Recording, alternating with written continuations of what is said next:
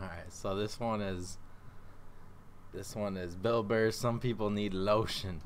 I've, I've seen 50 this years of screaming, "Sing, motherfucker!"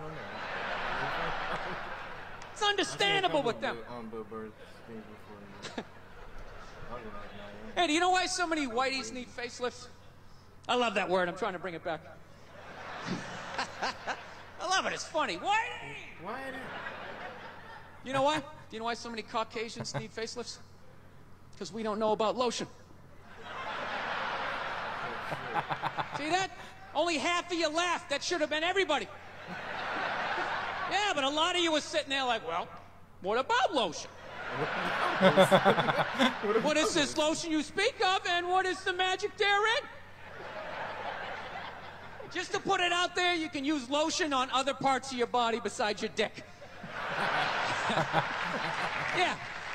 If you ever wondered why your dick still looks brand new, but the rest of you is starting to look like an aging pirate, because you need to increase the circumference of the lotion distribution. All right, you got skin everywhere. Go on, check yourself out.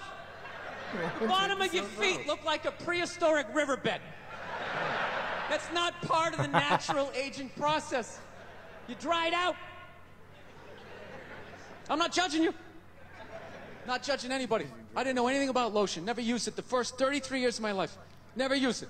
Till one night I was going out with this black girl, right? She was getting ready and she was just putting that shit on everywhere. Just slathering it on. I thought she had like a rash or something. I'm like, what do they got? Like poison ivy? What's going on with you? She goes, no, I'm just making sure I'm not ashy. I said, ashy? She goes, dry skin. I went, wow. I guess I freaked her out a little bit because I was like, wow. She's like, well, white people get ashy too. I was like, yeah, you know, I, I don't think we do. Yeah, I've been alive for 33 years. No one has ever said, hey, Bill, uh, you're looking a little ashy. I've never even heard that word until you said it.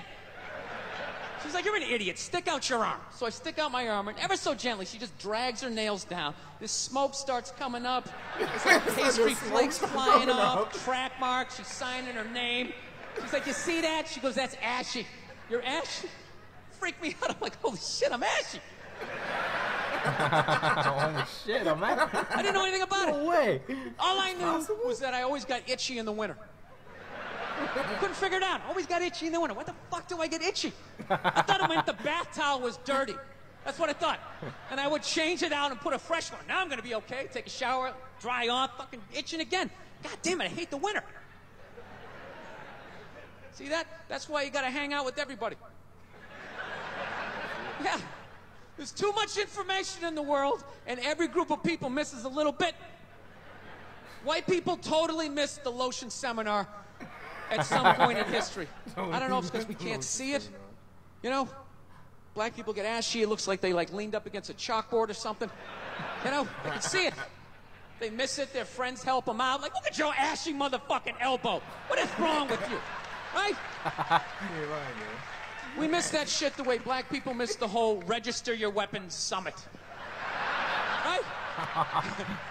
Just never got the information. The amount of rappers who've been busted for the unregistered Glock in the car just blows my mind. It's like, why would you do that to yourself? Do you just want to make an album over the phone?